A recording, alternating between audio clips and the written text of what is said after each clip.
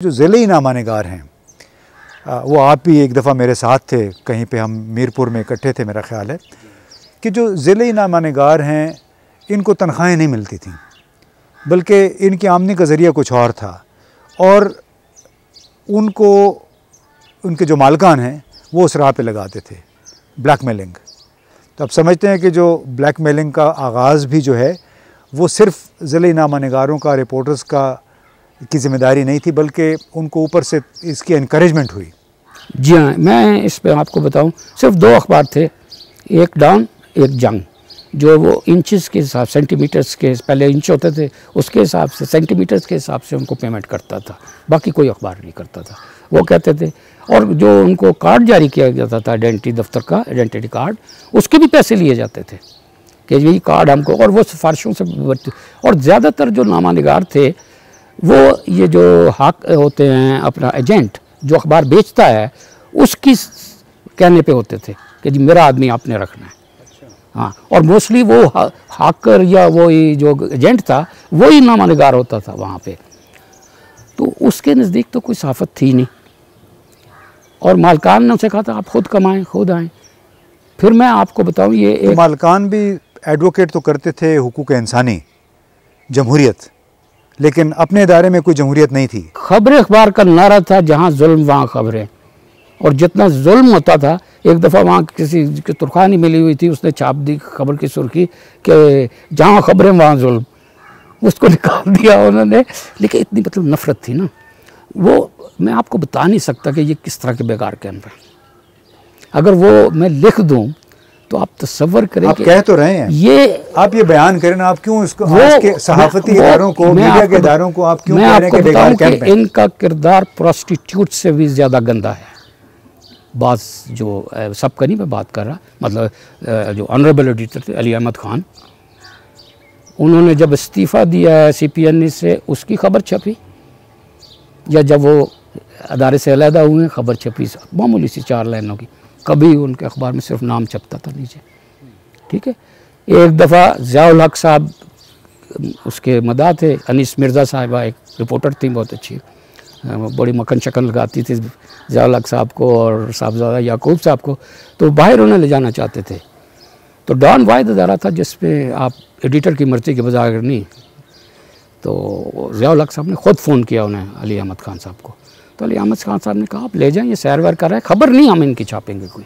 यानी इस कैलिबर के लीडर थे और एडिटर थे। नहीं बड़े दबंग शख्सियत के लोग थे बहुत दबंग जिन्होंने बड़ी मजामत की। बड़ी मजामत की आई रहमान थे अपना क्या नाम है? यार सिद्दीकी साहब यार सिद्दीकी साहब थे, थे मिनाज बरना नासिर जैदी साहब हमारे मुस्लिम में कोलीग होते कोलीग होते थे बहुत सारे लोग हैं जो अपना ए टी चौधरी साहब थे। लेकिन अब जो एक और फैक्टर आया जो बड़ा ख़तरनाक है।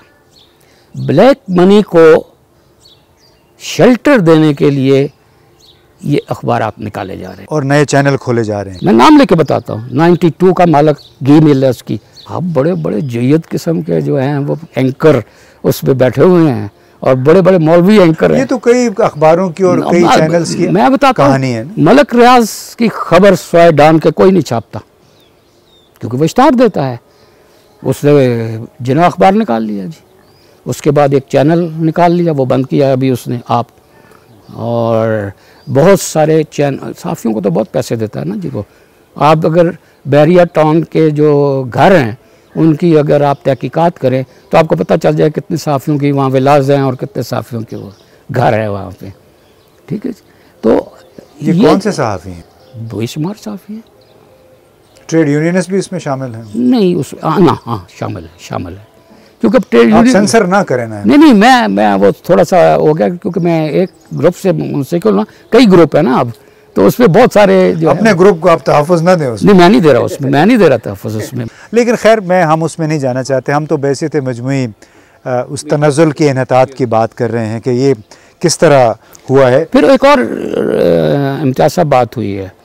वो ये हुई है कि तालीम जो है, ज़रूरी है डिग्री, लेकिन जो तजर्बा है, उसका नेमल बदल नहीं है। ठीक है ना? और डिग्री का मतलब इलम नहीं है। लोग इलम नहीं हासिल करते।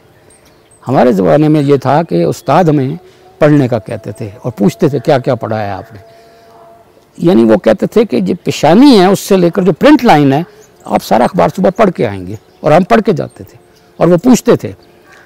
फिर खबर दी है हमने अब तो इमला पे कोई गौर ही नहीं करता। दस दस दफ़ा री राइट करवाते थे। ए बी एस जाफरी साहब थे यहाँ वो कहते ये क्या लिखा है आपने? दोबारा करके लाए। वो टाइट कंट्रोल होता था एडिटर कहता एडिटर कहता था कि ये पैरों से लिखा है तुमने। ठीक है? अच्छा ये खबरें अखबार एक ऐसा है जिसने तबाही मचा दी इस हवाले से कि उसने हर एक को भर्ती कर लिया। लेकिन तरबियत नहीं की हमारे ज़माने में तो अगर अखबार में बंदा नहीं भी है मतलब मैं दूसरे अखबार में था शेख अकराम साहब नए वक्त के चीफ रिपोर्टर थे वो सुबह उठ के मुझे फ़ोन करते थे कि वो बेवकूफ़ आदमी ये क्या तुमने इंट्रो बनाया? अच्छा। इसको ठीक करो ऐसे कैसे लिखना चाहिए था? फिर वो मुझे सिखाते थे। तो बाज़ का डांटते ही मज़ा भी आता था। तो इसलिए अब वो फैक्टर ख़त्म हो गया है। लोगों की तरबियत नहीं है अपनी खबर नहीं पढ़ते पूरी। आप ये बताएँ बिल्कुल ये एक इनतात की ये भी एक शक्ल है कि आपको चूँकि आपके हाथ में मौजूद है इन्फॉर्मेशन आपको अखबार पढ़ने की ज़रूरत नहीं है यानी मोबाइल आपके पास अवेलेबल है गूगल पे आप चले जाते हैं। ये जो सहाफ़त से कारोबार आपके ख्याल में ये कब शुरू हुआ है? ये ज़ियाउलक के ज़माने से शुरू हो गया था। उसी ज़माने से ये ज़ियाउलक के ज़माने से दो चीज़ें ख़तरनाक हुई। एक सियासत तबाह हो गई। ये ये गली मोहल्ले की जिसकी औकात थी लीडर की वो असम्बली का मेंबर बन गया। इसी तरह सहाफ़त में उन्होंने इंडक्ट किया बाकायदा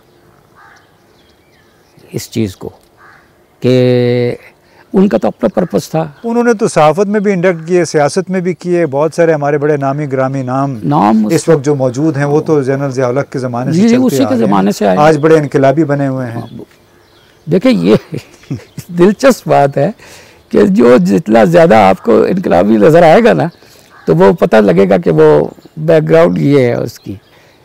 फिर ये प्रमोट भी किया जाता है कि आपने इस लिमिट तक हमें गाली देनी है, ताकि आपकी क्रेडिबिलिटी बने, ताकि आपकी बात सुनी जाए।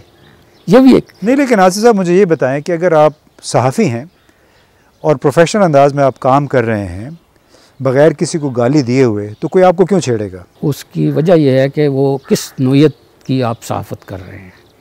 यानी आपको आज़ादी है। आप सियासतदान के ख़िलाफ़ दें करप्शन दें ये दें। आसम सलीम बाजवा के ख़िलाफ़ नहीं आप छाप सकते। नहीं तो पूरे टीवी चैनल भरे हुए थे उससे जब वो खबर आई थी तो उसमें किसने रोका था उसको? उसमें हर टीवी चैनल प्राइम टाइम में उस पर डिस्कशन होती डिस्कशन होती रही है ना। वो शुरू में हुई है ना। वो रिटायर हो गया था ना। लेकिन जब उनको पता चला कि ये क्या हुआ है तो उन्होंने रोक दिया। अब अब बताएँ ना आप। नहीं लेकिन यहाँ तो हर रोज़ दस नई कहानी आई होती वही ना। उसकी लाइफ जो पाकिस्तान में मसाइल इतने ज़्यादा हैं कि हर स्टोरी का लाइफ स्पैन जो है वो चंद दिन ही होता है। दो तीन चंद दिन नहीं चंद मिनट होता है। चंद मिनट चंद घंटे हैं। वो गई गुजर गई। तो और फिर अब तो कोई बॉदर भी नहीं करता। कि जी ये एक ऐसा इलेक्ट्रॉनिक मीडिया ने वो फिनोमेना बना दिया है कि कोई बॉदर भी नहीं करता। अखबार तो एक ड्यूरेबल चीज़ थी ना कि उसमें छपी चीज़ सदियों तक रहती है। वो इफ़ेक्ट भी करती थी। अब कोई जो ऑब्जेक्टिविटी ऑफ़ जर्नलिज्म है आप इस पे मुझे बताएँ ना क्योंकि हम इतनी सारी बातें सुनते हैं। हमने जो जर्मनी में जाके सीखा सीएनएन के साथ काम करके कि आपको एक बतौर सहाफ़ी आपने राइट लेफ़्ट नहीं देखना है। आपने सीधे रह के सिर्फ़ फैक्ट्स को रिपोर्ट करना है। आपकी राय रीडर के लिए मुकदम नहीं है बल्कि आपके जो दाएँ बाएँ लोग हैं जिसको क्रॉस वेरिफिकेशन भी कहते हैं, तजिया या ओपिनियन आप किसी और से ले लें, लेकिन आपने सिर्फ़ रिपोर्ट करना है। वो जो ऑब्जेक्टिविटी है आप समझते हैं कि आजकल है ऑब्जेक्टिव नहीं जी, बिल्कुल ज़ीरो परसेंट हमें पहले दिन उस्ताद ने और एडिटर ने यह सिखाया था कि जब आप अखबार की सीढ़ियाँ चढ़ें, दफ्तर में एंटर हों, अपने नज़रियात और अपनी अफिलिएशन बाहर छोड़ें। जमात इस्लामी की खबर है एज इट जो हुआ है वो आप दे दें। इसी तरह पीपल्स पार्टी है या कोई भी है इवन ज़ियाउल की खबर, उसकी भी प्रेस कॉन्फ्रेंस अटेंड करते थे हम, कि वो है, खबर ना अच्छी होती है, ना बुरी होती है खबर खबर होती है। जब आप कोई लिखते हैं कॉलम तो उसमें आप थोड़ा सा अपना वो कर देते हैं, अपने नज़रियात के हवाले से। लेकिन वो भी अगर इस हद तक हो कि एडिटर महसूस करता था कि ये आपने ज़्यादती की है तो वो उसे निकाल देता था बीच बीच से। लेकिन अब तो वो बिल्कुल ही खत्म अब तो ना एडिटर रहा है, ना एडिट होता है, कोई चीज़, जो मर्ज़ी आप